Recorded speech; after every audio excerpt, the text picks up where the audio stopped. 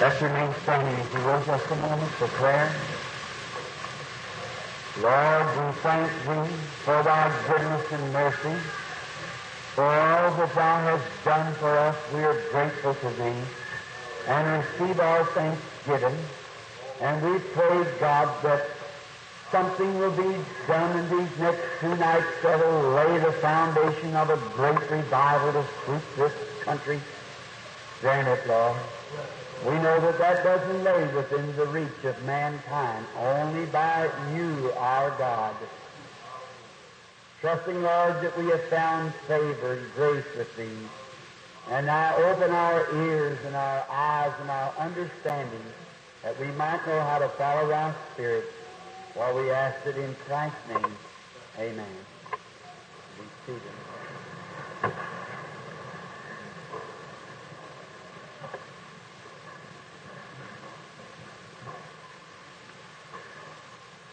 First, I would like to say that my son just told me that tomorrow night they were planning a healing service, and the prayer cards would be at the afternoon service, and it's six o'clock at the auditorium. They come early so they could get them, uh, uh, get the people settled down before the service is started. Then I want to say that ever who that brother is here that sent us those fish yesterday, we certainly enjoyed them very much. The whole group of us had a, I guess you'd call it a gastronomical jubilee last night. About 11 o'clock was some of the finest trout I ever had in my life. And I was hungry because I don't eat before these services, and then I was really hungry afterwards. And we certainly appreciate it, brother. I don't even know your name, but I sure thank you. I'd like to make a, what was his name? Har? Harbaugh. I'd like to make an appointment with you to check some of those someday. It was certainly found. And we appreciate him. First time I ever seen any brook trout pink, but it was really, they were found. We thank you all, and I didn't get a chance because I didn't know that they had did it till it was too late. Other night you taken a love offering for me. I certainly appreciate that. I've tried to keep my uh, record clear of offerings. I've been in the ministry 27 years and never took an offering in my life. I pastored the Baptist Tabernacle at Jeffersonville for 17 years without one penny salary or taking an offering of any kind. I was a state game warden of Indiana, and I worked for my living, and I money's kind of an odd thing to me. I don't. It's all right. We have to have it, and my expenses at home it's not much. I I've tried to keep my services into a place to where they wouldn't run heavy. You take, if I just let it go, I, I might have been under a big obligation. My obligation is about, well, at my office is about a, I imagine $100 a day will clear me up. Well, you say that sounds like a whole lot, Brother Branham. What do you think Brother Roberts runs each day? About 10,000. What do you think Billy Graham runs? I've seen it run 25,000 an hour. So you see, it takes a lot of money. And I can't obligate myself like that. My ministry doesn't call for it. I want to just keep it humble so that if the Lord would call me to a church of four or five people, I could go. And I just held a revival in a church that held 20. Had a two-night revival in a little church that held 20 people. It was pathetic. Cold weather and the people standing sub-zero weather. But it was, uh, but I felt the Lord sent me there, and I've always raised up some preachers from it. So I just want you to know that I appreciate everything that you do. I got a wife and three children, and I have a big obligation at my office because we get thousands of letters. You know how it would be not just one city, the whole world over. And we have four phones that we can answer by, and it's estimated around 40 call long distance calls per hour, 24 hours a day. You can imagine how that runs. And then I send out thousands and thousands of little prayer calls around the world. And And I'm not home too much, but I pray over those claws, though. Now, the letter that if you want one, you're welcome to it. Just send. Everything's free. You don't have nothing. We don't have no radio programs, no television.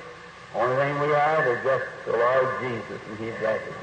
But I, we come to be a help to you, and I'm not wanting your address. It's hard for me to pay for secretaries to answer letters. But everything that you want, one of those little claws, we pull over them and send them out by the thousands over the world. And you're more than welcome to one, just as quick as we can get it to you. And I've used to say many times the storms never get too hard and the rain never falls too fast and the night never gets too dark. But what I would come to you to help you, well, I have to be careful saying that now because there's too many. But I, any time that I could be a favor to you or do anything to help you and make life a little better, a little sweeter, that's what I'm here for. And I'd, I'd love to do it. Now, remember tomorrow night's closing service, and I'm certainly thanking people for what you've done to us. And on this offering that they give, I don't know what it was yet. They haven't told me. But it'll certainly go to the best of my knowledge for the kingdom of God. And everything that I just don't have to use Every penny I get a hold of, if I don't use right in immediate work, God knows it goes up straight to the mission field just as hard as it can. Because I know I'm always right. I know what it takes for missions. And uh, that's you're following general orders and go into all the world, preach the gospel to every creature. And I certainly want to be uh, a true steward of what the Lord has given and part of that money was some of your living, and I respect it just as reverent and honorable as it can be. I want to tell you, my wife not being here, I can say that she usually gets after me a little trick, you know. I remember one night coming home, one little thing that I did, it always stuck with her. I was changing clothes in the room, and I we just lived in two little rooms, and I taking off my uniform, they had big red handkerchiefs, you'd better know in the woods. And going over to church that night, I, I forgot to pick up a handkerchief. She had laying on the bed, I just stuffed this big red handkerchief down my pocket. And I was at the tabernacle preaching away, and I, I got kind of perspiring, I jerked my handkerchief out to shake it like this, you know, you know. Well, I said, her face real red, I said, you know, I'm afraid of them little ones, I'm afraid I might swallow. One. but that, well, and then once I was going to take up an offering, and you know how poor people get. You get to a place you can't make ends meet. Did you ever hit that place? I still get them.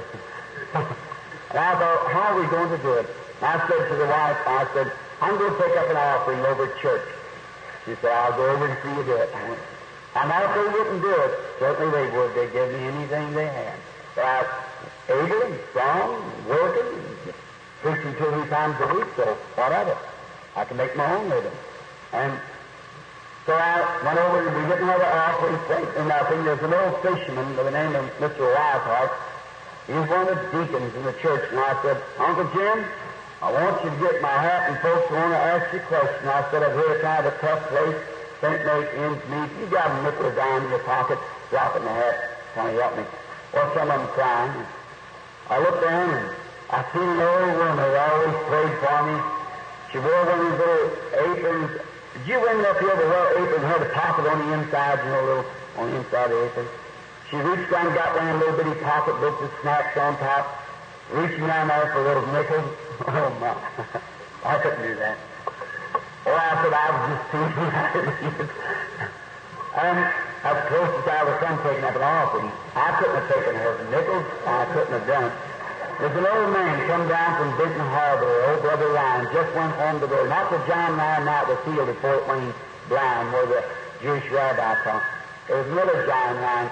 He rode an old bicycle down there and he gave it to me. It was backslid. Well, I wouldn't say backslid, it was wore out. It, it was just in a bad shape. And it was out there and I went up to the paint store and got me a can of paint, painted it up and put a sign on it for sale sold it, didn't have to take up the offering after all. That's the closest I ever come of taking an offering. But I certainly respect it, and the Lord bless you richly.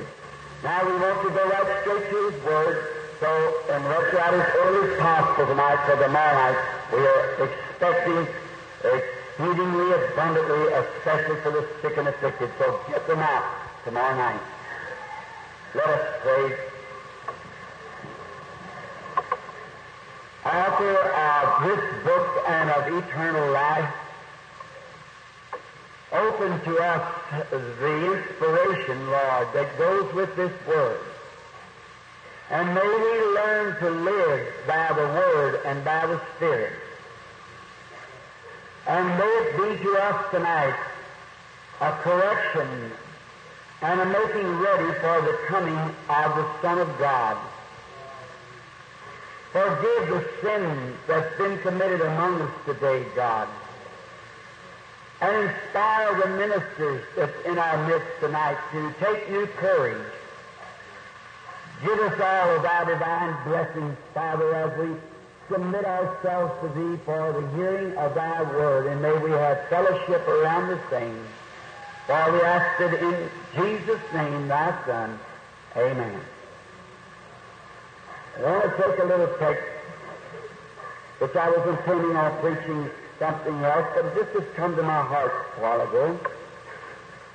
Daniel 5.25.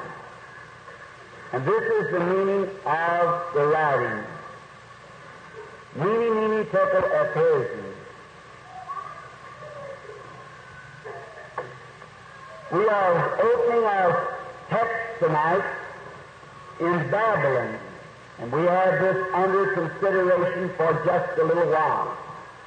And if you give me your attention and uh, your heart to the Holy Spirit, may He interpret this for us It's sign of the time. Babylon began in the beginning of the Bible. Genesis is the beginning of all things. And Babylon was found in the first of the Bible, and it's found in the middle of the Bible, and it's found in the last of the Bible.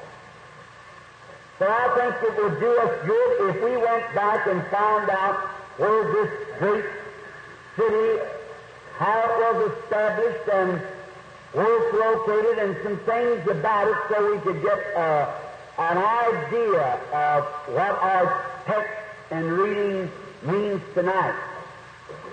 Babylon is located in the valley of Shinar, and it was built by Nimrod a son of Ham. And the Babylon, the city of Babylon, was the greatest city in the known world. The word Babylon first means it was the gate of paradise. Secondly, it was called confusion, which means backsliding. And the city was a great place all the nations around paid tribute to it. All of them was taxed by Babylon.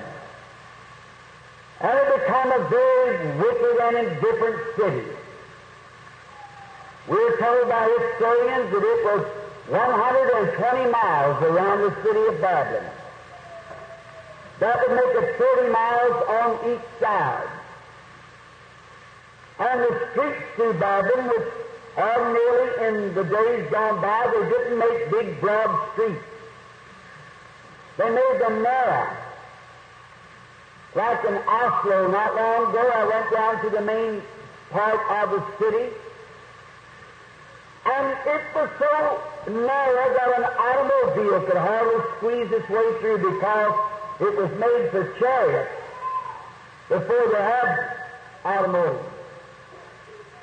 And we were told that the streets of Babylon were 200 feet across. And the gates of the city were made some 80 feet tall of solid brass and the walls were 200 feet tall, and was wide enough on top that they could run three chariots in a breath, a horse race around the city. And it was also the great city had gardens, great gardens along these walls.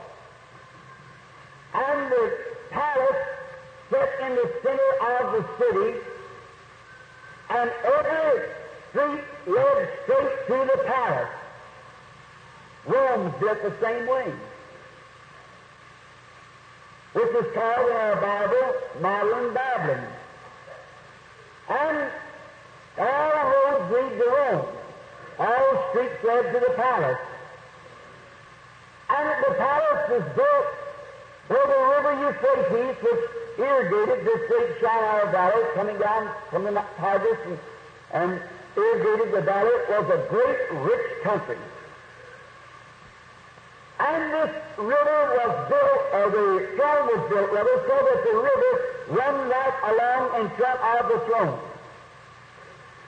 Now, if my friends here, you Bible readers, understand that that was a pattern of the heavenly throne. The river of life flows by the throne of God and the great garden. So you see, it was a perverted version of glory, which belonged and was built and, and brought up by Satan. Like all other kingdoms of the world are ruled and governed by Satan. Now we know that that's hard for us to believe that our nation is that, but the Bible says that it is. All the kingdoms of the world belong to the devil. He's the ruler of them. Jesus, once when Satan showed him the kingdoms of the world and said, Satan said, All these are mine. I'll do with them whatever I want to. If you will fall down and worship me, I'll give them to you. Jesus knew that he was going to fall heir to him in the millennium, so he said, Get thee behind me, Satan. When Jesus takes over these kingdoms, we'll stack arms and never have them wars. We'll have them more fights or troubles and more sickness, sorrow, or death. When Christ takes over the kingdoms of this world, to set on his father David's throne to rule all nations. Until then, we're going to have wars and rumors of wars, pestilence and earthquakes and sickness and sorrows and sin. But this great city, and it was a great city, it had in it was a very beautiful type of the world today. For it had the greatest scientist there was in the world was in this city. The greatest army that they know in the world was in this city. The best fed and best dressed people known in the world was in this city. And all of the rest of the known world in those days looked to that city for their example. If that isn't modern America, I don't know where it is. The best scientists, as we think, best dressed people, and not only that, but their agriculture program. They have the best, well, there's nothing all the world today to compare with that valley now. You can raise almost anything there. Perfect irrigation. It's claimed that the Garden of Eden was located near there. And it is a, a great city. And it's strange that when God goes to doing something for people, then they get indifferent towards God. I believe it was Solomon, no, I hardly think it was Solomon, it was, it might have been, that prayed one of the greatest prayers, when he prayed like this, Lord, don't make me poor enough to beg or to steal, and don't make me rich enough to forget you. Just let me have the comforts of life. And when we get than that, we begin getting away from God, nine out of ten. And when the nations of the world become great and become self-sustaining, they think, they begin to move away from God. When man begins to multiply upon the face of the earth. Sin and violence set in. Some of you people living here in this lovely little city that you live, it would be hard for me to tell you the sin and stuff that's in these big cities, like Chicago, New York, and Los Angeles.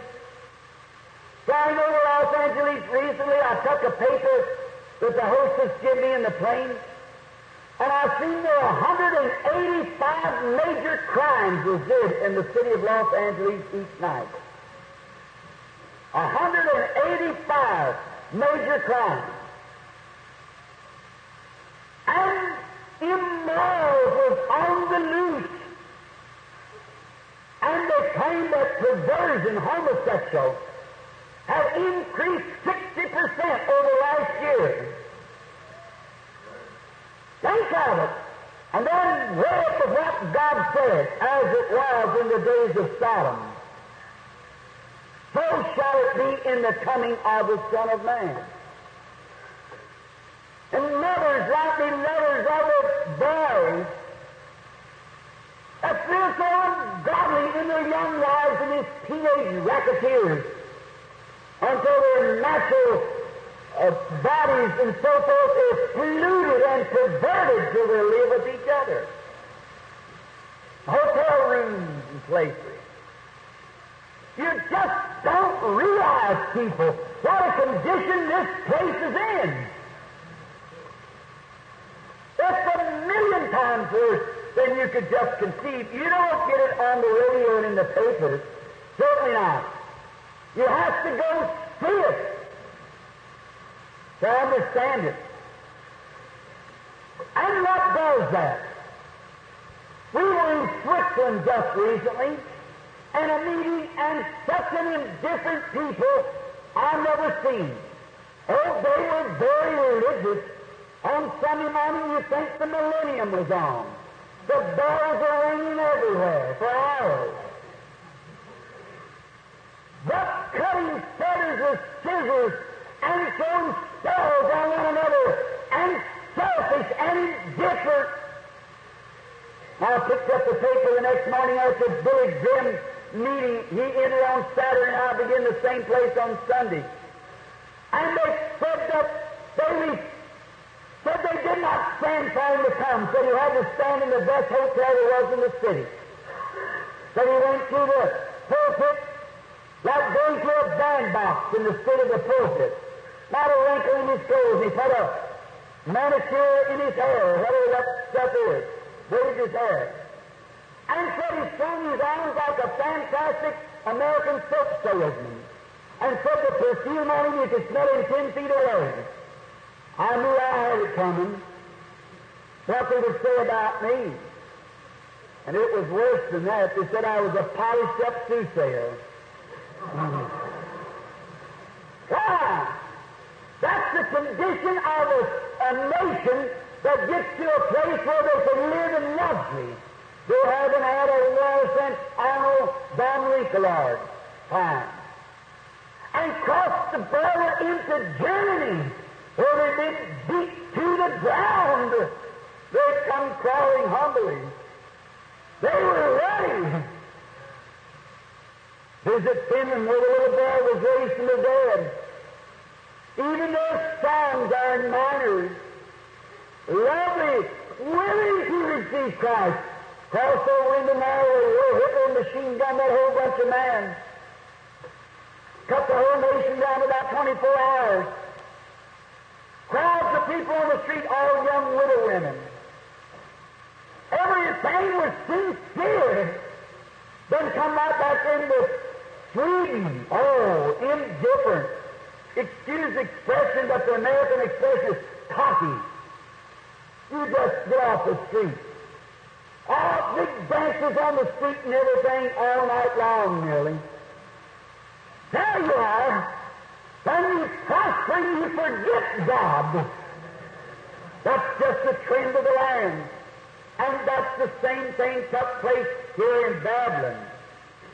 Although they know different, because they'd had a revival a long time before that under the uh, King Nebuchadnezzar. They had a supernatural ministry down there in Babylon. Days before, so have we. And they had signs and wonders among them. God delivered three boys from the fire furnace one morning. They threw a prophet in a lion's den, and the lions were not eating. They know about the supernatural. They know about God, but they were unconcerned because they felt self-centered, self-sufficient. And that's about where we got today, self-sufficient. We don't need anything else. Oh, the Bible says thou wretched, miserable, dying, poor, and naked, and don't know it. In this age that we're now living. Now notice, in this time with these great big high walls, no nation could jump them walls. They was all fortified. Besides that, they had the greatest army in the world. And they had the best chariots, and they had the best spearmen, the best trained men. So they felt like that they could just live any way they wanted to. And that's become the condition of this nation. I remember, I'm, I love this nation. It's my country. When I passed through France and Germany, I walked over the graves of dead Branham. He died for this country. It's the greatest country in the world. But she needs a shaking. And no matter what we do, God's going to judge this nation. It's a just God that has to do it. He sent Sodom and Gomorrah up for the same sins that we're doing now. And if he let us get by to be a just God, he'd have to resurrect Sodom and Gomorrah and apologize for burning them up. If we get by without it. Or you say, but our forefathers, they did so and so. Well, how about the Jews? When God told them they were His nation and His people. But when they got out of line, God punished the Jews. And the Gentile will get the same. It's coming to us. I watch the Scriptures as we come to them, may the Holy Spirit unfold them.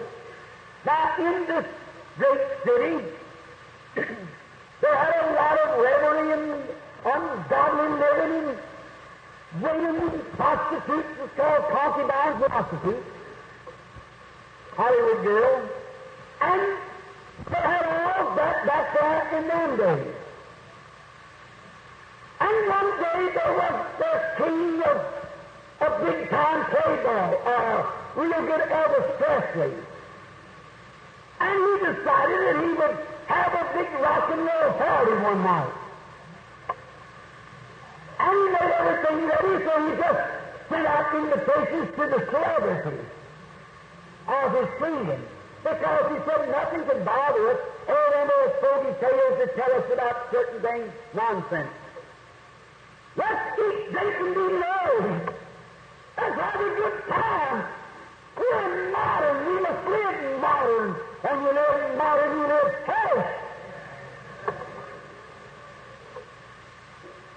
Look at our modern day compare it with that. And so he said we'll have a great party in one of these great gardens that he had. So I can imagine he getting everything ready. He made it like a real modern telecast. So he got behind the palace and he sent out the invitations and all the young ladies and young mothers, uh, they got somebody to babysit them because they were invited to this party and all the soldiers was going to be there. They were going to have a great time. Just like modern America. And so I can imagine getting their little low neck waist and low backs and, you know, like they go to these uh, parties, they call it evening dragons or what more. You know, one time in the Baptist church, I was preaching, and I, I always, I got a little piece of paper I should have brought. I, I think it's out of Reader's Digest. That said a woman that would strip her clothes on the street like that in front of a man disgraces the whole woman race. And that's right. It degrades them. No wonder they don't have no respect no more. They brought it on themselves. Dressing themselves out on bathing suits and getting the suntan back, they call it. I got you good. I don't know whether I live or not. That's to God. If they ever stick themselves on a beach for a suntan, they'll get a suntanning. It won't be from that sun, but it'll be from Mr. Branham's son with a barrel strap. Bring them in just as hard as I can. Oh, it's a disgrace to think that our nation is polluted. And here in this great day, they got ready for the great party they were going to have. And they made ready and got all the whiskey and the old 92 or whatever they had in those days and brought it over to the place in the palace and they were going to have a great big time us. It's just a little innocent fun. Sure. So now they got over in this place and the evening lights began to burn and they lit the candles around and they all got into drinking and carrying on and having a big time. And the music was playing and the dance was going on and they were having a great time. And after they got drinking a little bit and the women got kind of disorderly and didn't care what the man did, they were thrown around on the arms of these drunken soldiers and maybe somebody at home taking care of their babies. You say that's way back in heathen land. That's here in the United States. Sure is. And maybe Pop sitting at home rocking the baby. While his wife, being a beautiful woman, was invited to the party. And he become a babysitter. Maybe it was vice versa. That was a popular jitterbugger, so he was invited and Mama stayed home taking care of the baby. It goes both ways. Sin is horrible. Worse to both male and female. One just as guilty as the other. And when the party got in good swing, all the pencil and the modern Arthur Godfrey began to pull off his little jokes, you know. So he had a great time, and the women swinging and throwing on. They thought they were safe. They had everything they needed. They were self-sustaining. So, you know how these Hollywood guys try to pull off these jokes? It's a disgrace that they don't censor them programs. Take those little girls, not 12 years old, out on the street and the boys with their arms around smoking cigarettes walking down the street trying to impersonate some old prostitute out of Hollywood. And the children of this United States of America can tell you more about Wyatt Earp than they could about Jesus Christ. They can tell you more about David Crockett and they could about Jesus Christ. They're taught and trained and call it modern. It's a disgrace to our very heritage of our forefathers who landed on Pilgrim Rock and set this as a nation. It's a disgrace to the God of heaven who has blessed us. What makes the people act the way they do? They see it on the television, in the shows, in the papers, and so forth and try to impersonate. Let me go into your home. Let me see what you read. Listen to what kind of music you listen to. I can tell you what you're made of. What's on the inside of you. That'll come out. I was preaching at the, our tabernacle some time ago, and oh, the Holy Spirit got into the meeting, and one woman began weeping with her hands up. And a couple days afterwards, I met a Sunday school teacher from the First Baptist Church. He said, Billy, I was standing outside. They don't like me too well because I preach divine healing. I preach the full gospel. What Christ died, a full gospel, a full redemption. And he said, I was enjoying your message till that woman began to cry. And he said, that just made shivers go up my back. I said, you mean that dear sainted old mother sitting back there weeping? And it made shivers go over your back when she was rejoicing in the Spirit. If you'd ever get to heaven, you'd freeze to death, boy. You're going to hear plenty of it when you get there. Because the Bible said so. Then he got all excited because the First Baptist Church has a ball team, and I heard him over behind my house a screaming till you couldn't hear yourself think. And I said, what was all that noise over there? He said, you know Charlie Nolan? I said, yes. He said, he hit a home run and three men on base. I said, what you so excited about? If you said that woman was a holy roller, then you must be an unholy roller. That's right. See, it's just become so modernized, it's left God out of its program. Used to be our presidents went to their office with prayer. The cabinet was led in prayer. Where is it today? I appreciate our president we got. I'm neither Democrat nor Republican, but I'm a Christian. But I appreciate Mr. Eisenhower, but you put a Mr. Eisenhower in every county in this nation would never shake it back. We're bullheaded.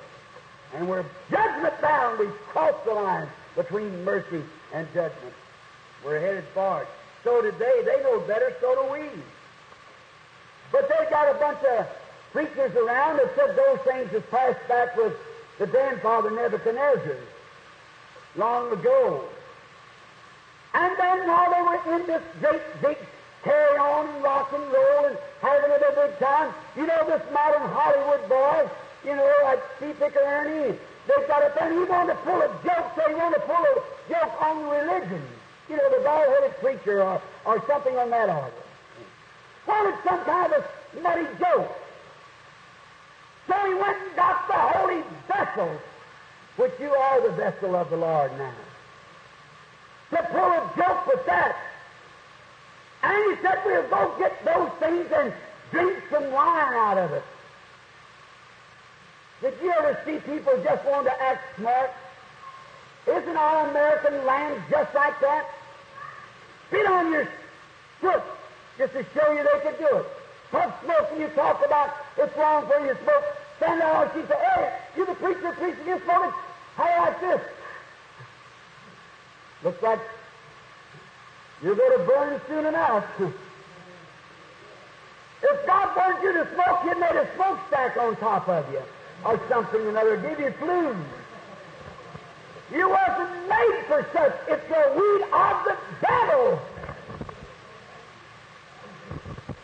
Then notice, and a lot of you preachers use it. Shame on you.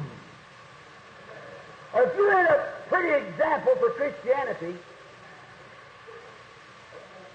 smoking cigarettes. And you deacons smoking cigarettes married three or four times, and then a deacon in the house of the living God. That isn't disgraceful. No wonder we're in chaos. No wonder the women are wearing sack dresses and shorts and things like that when you got preachers and deacons like that. It's a meal ticket instead of a commission from God then. Notice. And when he was just got all the women laying over on the soldiers' backs and they were doing their little jig dances, we call it out west a shindig. Well, having a big time hooping around. They're all hid, nothing can bother them. They're behind great walls. And I can see this uh, modern jokester stand up, you know, on the telecast and go to get a good religious joke. He had this vessel from the house of the Lord to make fun of it. Poured it full of wine, and just as he started to drink, he looked. There happened to be somebody who could come over the wall. He noticed a man's hand over against where the big candles was flickering his light on the plaster, writing a message on that that he had never seen such writing. So I can imagine as he starts to drink and he sees that, his eyes bulge out, his knees go together, and he's really all shook up. he sure is. That modern Elvis. The Bible said that his knees beat together and his bones seemed like they was coming apart. It'll be a shaking up time, all right, one of these days. Just watch, it's not too far away. And he shook up then. And the first thing you know, some little painted faced Jezebel looked around and said, What's the matter? And then she was all shook up.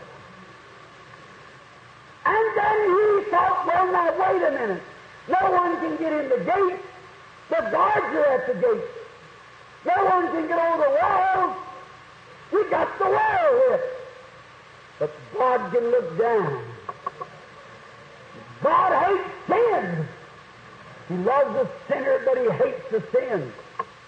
He loves America, but he hates the sin. He loves his church, but he hates the sin in the church. And it hasn't changed. Spirit don't die. The same spirit was in them people are in these people today. The devil takes his man, but never his spirit. God takes his man, but never his spirit. Remember the spirit is up on Elijah, came on Elisha, then on John the Baptist. The Holy Spirit on Christ come down. Same those Pharisees and teachers of Jesus say, look at them today. Look back there and Babylon on them Gentiles. Look at these Gentiles' behavior today. Wake up! Before it's too late to wake up. I'm afraid it is. There he was. And he'd never seen anything like that. Oh, he said, call all the district presbyters, all the pastors and the bishops and the cardinals and the popes. Get them all out here. These spirit-filled men will understand this. And when he went and got all the bishops and the cardinals and the pastors and the popes and got them all out there, they didn't know nothing about unknown tongues, about spiritual things. They'd never heard of such a thing. Never heard a language like that. Well, they said, we don't know nothing about those things. Only thing they know was their creed and their prayer book and their theology. If that ain't a pattern of the American church today, I don't know. They don't know nothing about supernatural. They don't care nothing about supernatural. They don't believe in the supernatural. The only thing they know is they're Presbyterian, Baptist, Methodist, Pentecostal, and so forth. That's all they know. Sometimes know more about God than a Hottentot to know about an Egyptian night. And that's the way it stands. As it was then, so is it now. But we think we're secure as long as we're Baptists. I talk about my own church. I guess that's all right. As long as we're Baptists, we're all right. Not all right until you're born again. You can join all the Baptist churches in the world and go to hell like a martin to its box. And the rest of them. And notice now how it's taken place. And all these bishops and cardinals and so forth, they couldn't understand what the supernatural was. So then they all were shook up. They all were. They didn't know what to do. There was a supernatural something taking place, and nobody had the answer. Blessed be the Lord God. The same thing's taking place, and they don't have the answer. There's a handwriting on the wall, and they haven't got the answer. The nation's all shook up. We thought we had the best scientists. We thought we had the best everything. Are almost a two-ton Sputnik circling this place tonight, and we don't know nothing about it. What did Billy Graham say just the last few weeks? There isn't one thing to keep us from being Russia's satellite by in the morning. Not a thing. They're so far ahead of us that it's a shame. What does real scientists say about it? Simon interviewed the other day. Said, should we alarm the people or should we just keep it to ourselves? What do you want to say about it? He said, There's not a thing to keep them from doing it. They're not letting us know all their secrets.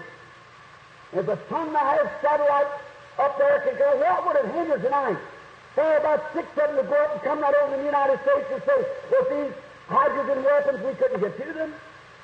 So all right, or go to ashes. What would take place? That can happen before morning.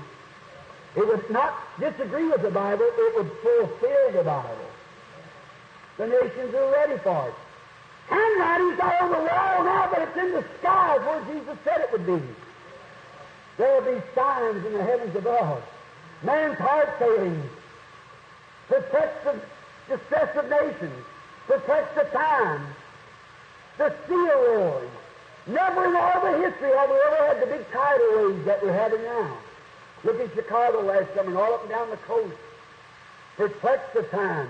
Distress between the nations the handwriting on the wall, and the return of the power of the Holy Ghost to the church. The prophet said, There'll be a day. Listen close now, don't miss this. The prophet said there'd come a day that it wouldn't be night nor day, but in the evening time it would be light. How does the civilization travel from the east westward? Always. China's the oldest civilization. We've already come to where the east and west meet, which we had a few more days. I'd like to preach on that when the east and west meet. How did civilization and Christianity begin? On the Oriental country by the outpouring of the Holy Spirit, the appearing of the Lord Jesus, signs and wonders taking place. Then the lights went out. It's been a day of dismal, neither night nor day. What is it? Enough to say there was a Bible. Teach it as a historical thing.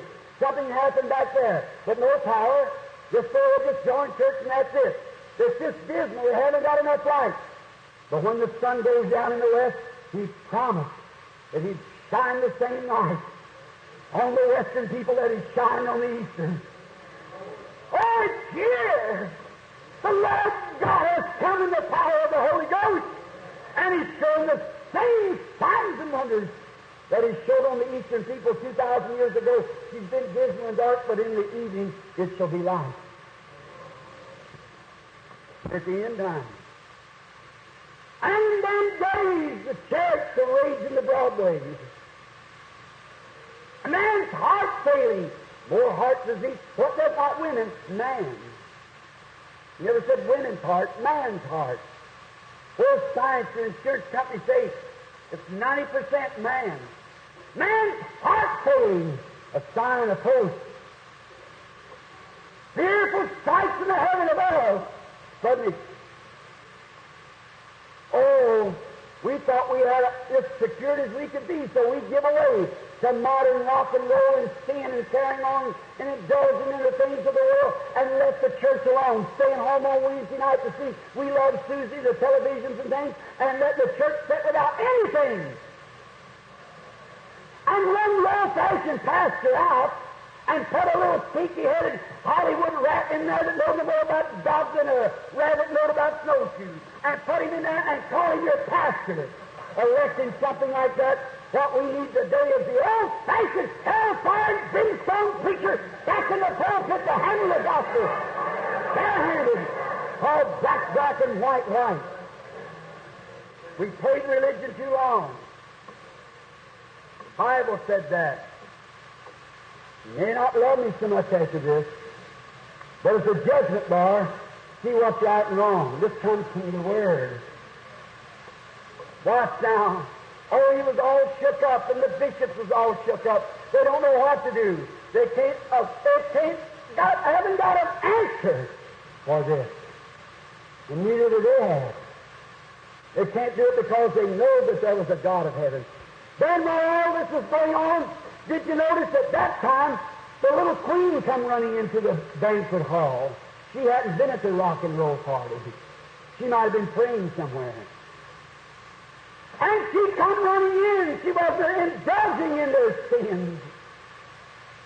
And she come running in and she said, Oh, king, live forever. She knew he'd be killed in a little while.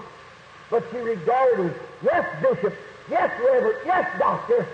That's all right to regard, but the time is at hand. She said, Oh, King, live forever.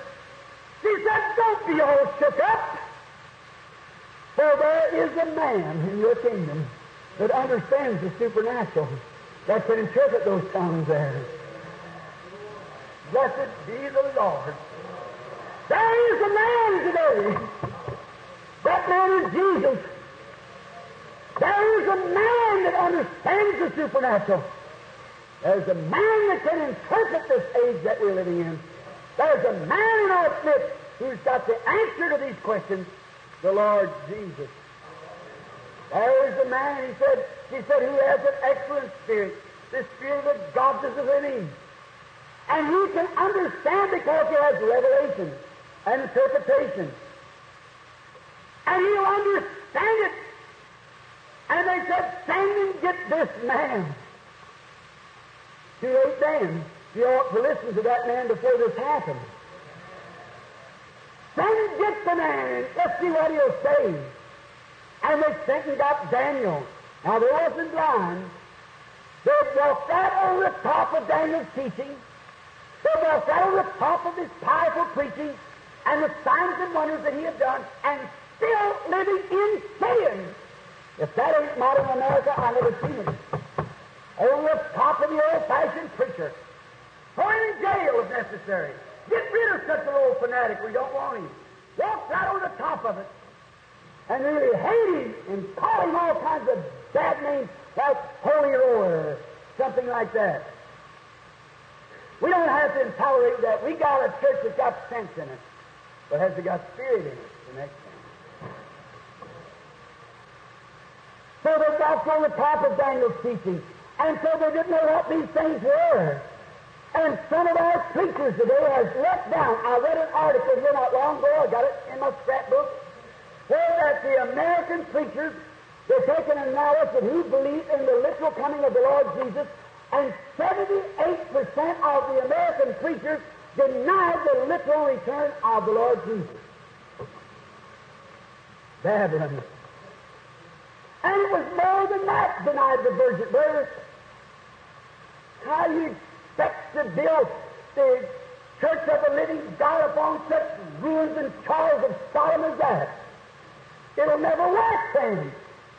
So what's you so hard about, Brother Branham? I come here for one purpose, to lay a foundation for the revival. Until we get back to the old healing line, you'll never have revival.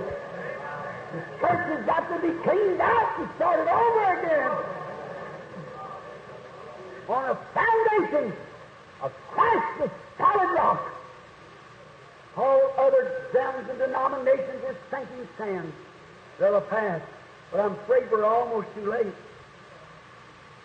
It's in the sky. What did Daniel say? What do you think that holy prophet said when he stood before the king? He said, I'll tell you what I'll do, Daniel. I understand that you can interpretate, that you can interpret strange languages, and again that you can have revelations and visions. Daniel, if you just come here and hold a revival bill, we'll give you all the money you want. Some modern Daniel would have fell for that right quick. But Daniel said, keep your gift to you. There's the man of God. You're not making me no bishop over these guys. I don't want no bishop or doctor's degree. I want to remain Daniel in the will of the Lord. And if a lot of you preachers are quick trying to put so much emphasis on that doctor and bishop and presbyter and things like that and get back to be a brother and a servant of Christ, bring his church together, be better.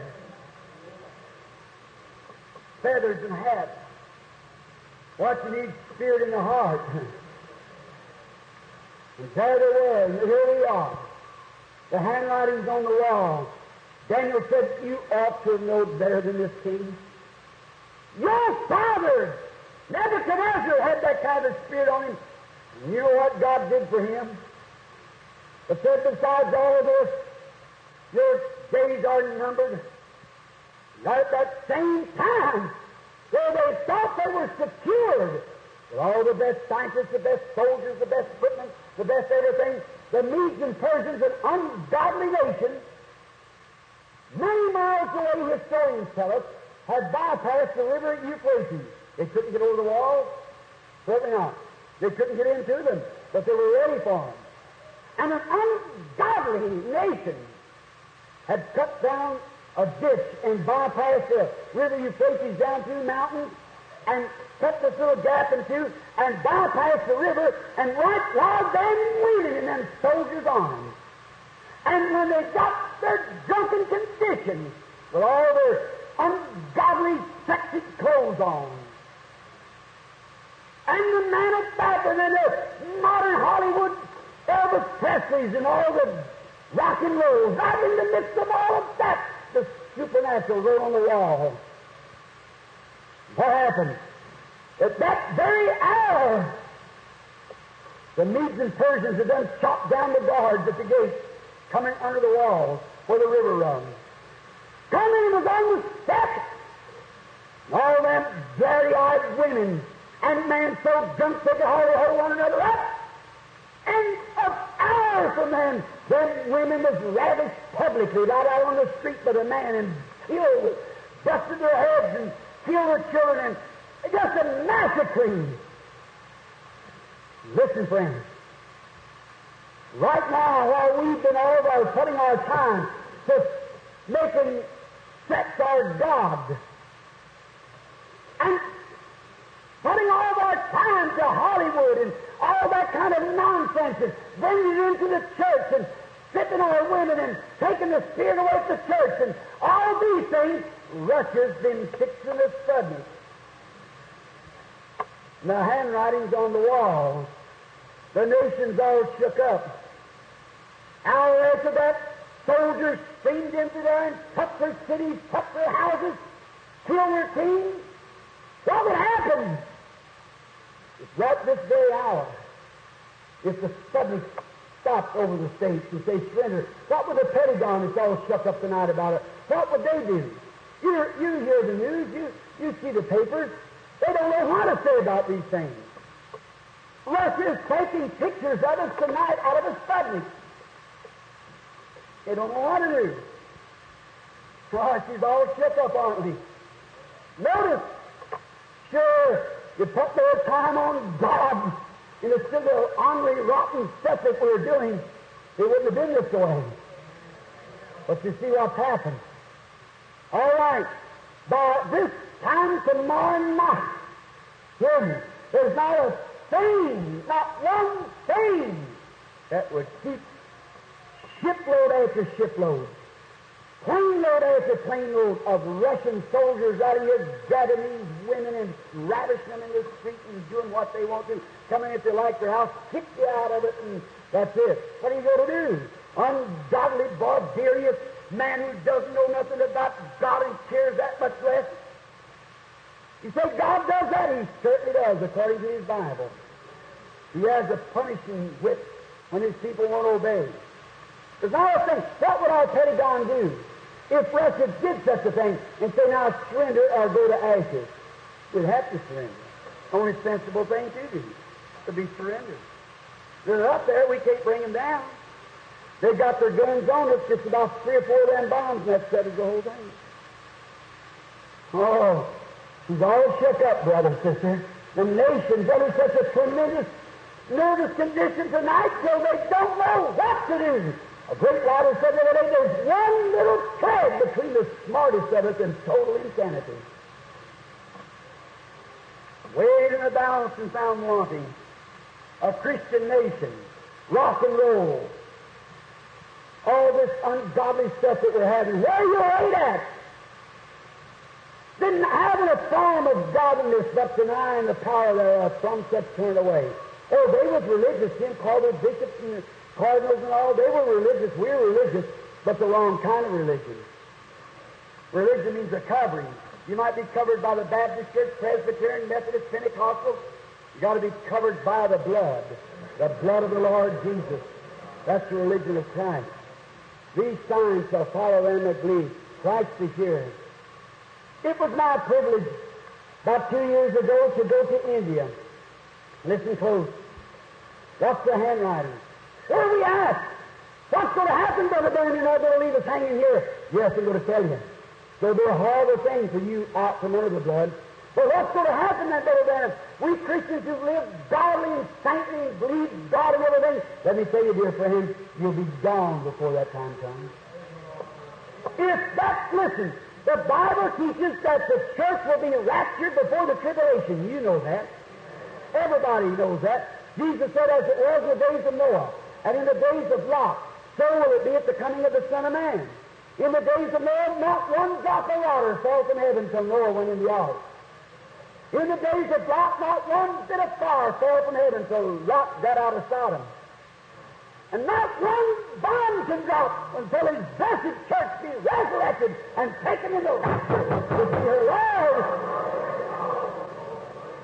And if destruction is this close, how close is the coming of the Lord? It has to happen before the destruction, the annihilation. It has to happen. Can you see the handwriting on the wall? Here we are, the handwriting in the sky. Ichabod on the church. The Spirit of the Lord has departed. Where are we standing? What's the matter? This is a horrible time. Notice, when I went into India, I picked up a paper. The Archbishop of the Methodist Church and many of them met us there. I picked up a paper, and it had something written there in English. And it said, it must be that the, the earthquakes are over a few days before the earthquake comes. The great earthquake, you had it here, heard of it. It shook all India about two years ago. The, India doesn't have uh, fences like we had. They have rock fences. And great big high towers around the fences where they live. And all the cattle stands around on the on the west side so that the, the sun won't get on them in the day. Little birds build their nest all in these little coves. But a day before the earthquake taking place, every little bird left and took off into the bushes. All the cattle and sheep and the stock around the big walls got up and the walls and stood out in the middle of the field together. The earthquake struck and shook the walls down. The God that told the birds and the bees to go in the ark still lives today. And if God, by His Spirit, could make a little bird and a sheep and a cow get away from destruction, how much more will it do His church when we see destruction coming? My brothers and sisters, get away from these modern Babylon walls. You're going to fall one of these days and you'll be the victim of them. Come out of it, my people, and be ye separated, saith the Lord, and I will receive you. And you'll be sons and daughters unto me, and I'll be a God unto you. We're at the end time. The writings on the wall, Ichabod on the church. The Spirit of the Lord has departed. The church is being made ready. Come out. Walk separate. Get out. Run to the middle of God's salvation. Hang on to Christ until the hour of His wrath is past the signs and wonders of His near coming, of the approaching that's coming near now at hand. His Spirit right here now. I feel, I hope you don't judge me a fanatic. If I am, I don't know nothing about it. I believe to be the servant of the Lord God. And after this great striking things that I've said about the end time, remember, Jesus promised to appear here at the end of the Gentile age and do the same thing that he did when he represented himself to the Jews. How did he do it? By discerning their thoughts and telling them where they'd been and all about such things. Was that right? How many knows that's true? That was the last sign before destruction. Here it is again tonight, the same Holy Spirit, the same Jesus in the form of the Holy Spirit, with his picture taken the pillar of fire, every scientific thing like it was in those days in Babylon. Here it is right back again tonight. We're at the end time. He knows all about you. You believe that? Now, before I ask you to surrender your life to Christ, there's no prayer cards giving out. Billy has to give them out for two nights. We're going to tomorrow night. But I feel that God wants to show you that He's present. so that you'll flee away from Him. Flee away from the walls of this modern religion, folks. Come out and get a hold of Christ. I don't say now, don't be a Baptist, don't be a Methodist. You be a Christian. I don't care what church you go to. You just hold out on to Christ and love Him with all your heart until He anchors the Holy Spirit in your heart. Then you're sealed to the day of your redemption. O Lord God, Creator of heavens and earth. There's many here tonight, Lord, who are real reverent people, who love you and believe you, who's waiting for the coming of the Lord. There may be some here who are indifferent, some here to hear the first time. Oh, eternal and blessed God, will you do for us tonight exceedingly abundantly? Do something like you did as you raised from the dead.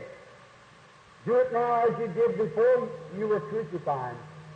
Let your Spirit be upon us, Lord. Do tonight as you did the woman that touched the border of your garment and went out and sat down in the audience. And you turned around and said, Who touched me? All of them denied it. But you looked and you found her that had that disease and told her that her faith had healed her. The same God that told the woman at the well she had five husbands, she said, I perceive that you're a prophet. We know when Messiah cometh, he'll do that. Lord, you never did that before the Gentiles in your days. The Gentiles had 2,000 years of this modern Babylon, but the handwriting's on the wall, Lord. Science can see it. Every person can see it. Newspapers, television, radios, everything's a blasting it, there's nothing we can do. It's there. We've had Belshazzar's big rock and roll party. And you've looked down and seen our sins, Lord. And now judgment's at hand. Oh, Lord, let sinners flee to the mercy of God. Grant it, Lord, be a message. I can't do nothing about it, Lord. I have not the strength. But let your Holy Spirit sink that into people's hearts so they can see what it really means. Grant it, Father. Now to let them know that you haven't died, that you still live. The God that made this prophecy still lives tonight He confirms His word by the same signs that He confirmed then. Let it be so, Lord, at least two or three in the building, or we ask it in Jesus' name. Amen. Please, five minutes now. What these things I'm saying? I take it from God's Word. I know it might disagree with creed. I'm not responsible for creed. I'm responsible for God's Word to God. Does he live, Brother Branham? Have we the assurance that he'll that we'll, we'll be saved? Yes, sir, he lives. Religions besides Christian religion is false. Buddha, Muhammad. I stood with the Bible in one hand and the Koran in the other and defied tens of thousands of Muhammad. Say, come here and let me see him make one promise come true. He can't do it because he's not God. He's dead and in the grave, but our Christ raised again. He's alive forevermore. The Bible says he's the same yesterday, today, and forever. No matter what they think about Muhammad coming on his white horse, I've been in his grave and seen the white horse and what Buddha was that died about 2,300 years ago and all the, them things. That's just philosophy, like Confucius and many other great philosophers. But there was only one man ever lived on earth that I have power to lay my life down and take it up again. Lo, little while the world won't see me no more, yet ye shall see me, for I will be with you, even in you, to the end of the world. The works that I do shall you also. Promising these things. And here we are at the end. Do you believe we're at the end of the age? The handwriting's on the wall.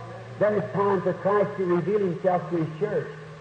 That's what he does. Just as if he did any other thing besides he did it the first time, you'd be doing wrong.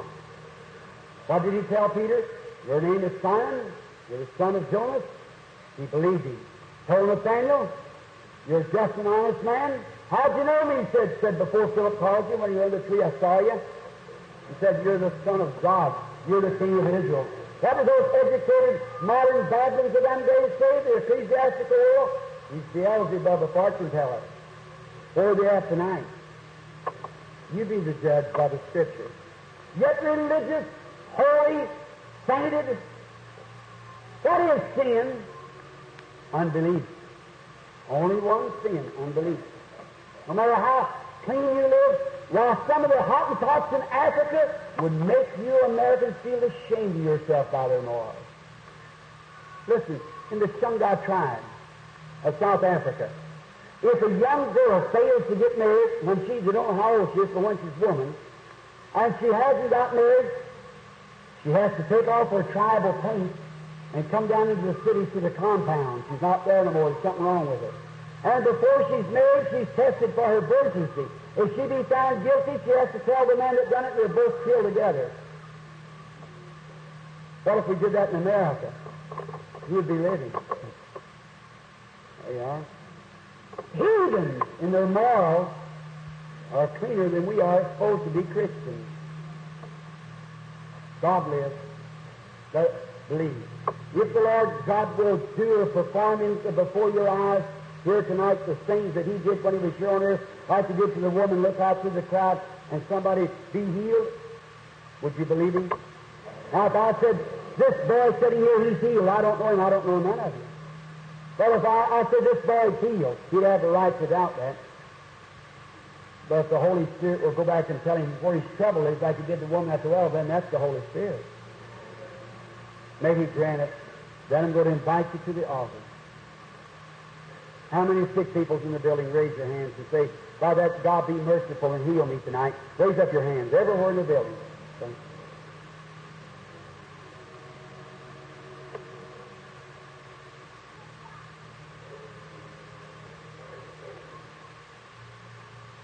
All right, then put your hands down. Just trying to get a conception of where it was. Get right in here and kiss the Lord God. May He grant it, friends. Remember, I'm your brother. It takes your faith. I've explained it night after night. Doesn't need it now. I want you to know the handwriting's on the wall. You see that with your eyes. Christ promised to do these things when he was, uh, just before his return. That's right. Types it all through the Bible. Here it is right here. Will he do it? He always keeps his word. He can't fail.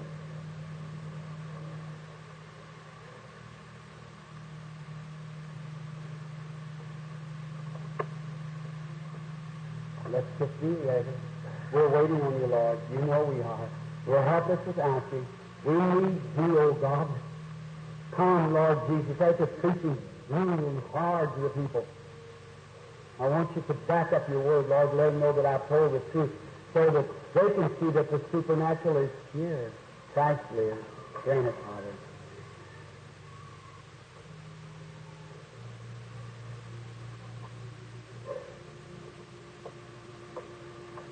Here it is. Good gentleman sitting around the end of the seat, praying. Kind of brown looking suit on one glasses gray in his hair. You were praying for let it be me. I don't know you, do I? I'm a stranger to you. If that's right, just raise up your hand. The man behind you, so that uh, it's a light over him I'm watching. We've never met in our lives. There's something, you're aware that something's going on right there now. If that's right, wave your hand like this. Now that angel, that light hangs right over the man. If God will tell me where your trouble is, just like He did through Christ told the woman where her trouble was, will you accept it? Believe it? It's something about blood. No, it ain't. It's artery. Artery trouble. That's right. Wave your hand like this. You're a fine man. You believe you're healed now? You believe you believe it? Wave your hand like this. I tell you something, you believe me to be his prophet now? His servant? Christ's servant? The rest of you believe that? He said if you get the people to believe you. Peter said, look on us. That's your brother sitting next to you. That's right. And your brother has a hernia and he's deaf in his ear. He was.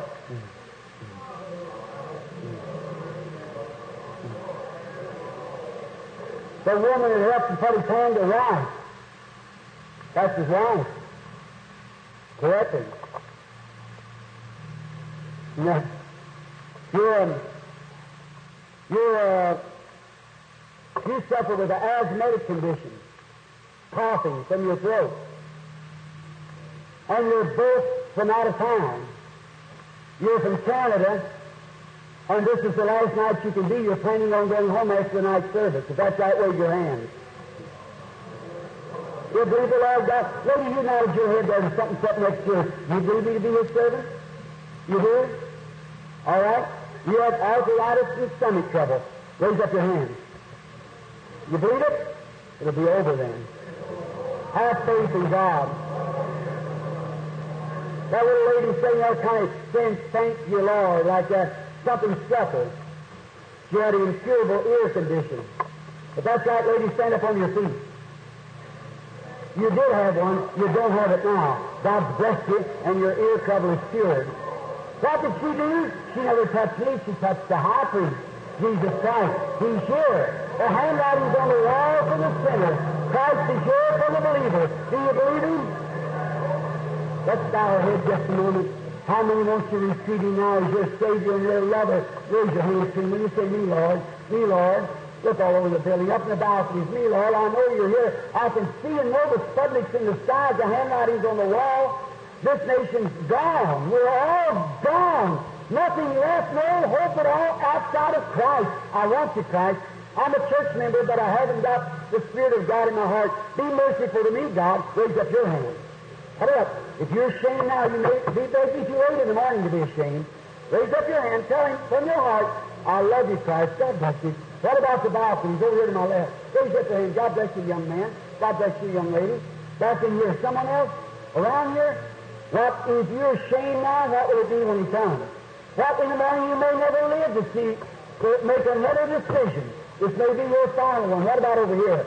Church member knows that you're not right with God or sinner. Would you raise your hand and say, Be merciful to me, God? Put up your hand to him. He'll hear you. He'll, God bless you, little boy.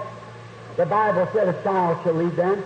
There's people sitting here it's old and aged. You just pull your heart through old true-story magazines and uncensored television programs till you're so muddy and black and dark so your heart can't be touched no more. You've passed the place between mercy and judgment. And that little tender-hearted boy raised his hand up like that. Shame on you. God's Word,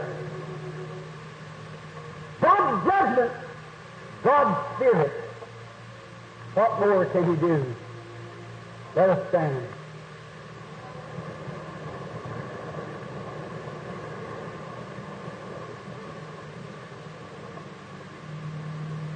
I feel strange. Brother, sister, I'm doing my level best by the help of God to lay the foundation what you've got to do here. If, if there's ever a revival to strike anything less, if I ever see one speck of mercy left, it's you New England people. Right. Now believe me, if you believe me to be His servant. And unless this church is built upon the rock of Jesus Christ, with His power, His Holy Spirit, His sanctifying blood to cleanse you from all unrighteousness, you're fighting the wind. Every one of you, friends, it takes all of us together to bring this revival. Let us pray and ask God to send us a real old-fashioned revival. Pour out His Spirit on New England and set these ministers' hearts afire throughout the country and save such as can be saved. Will you pray with me? Let us raise our hands while I say the class. Each one of you, the way you pray at your church, Baptist you pray, Catholic you pray, Presbyterian you pray, Pentecost you pray, Pentecost you lead us. God, victory! Oh, Father, in the name of Jesus, tonight we come to thee, Lord.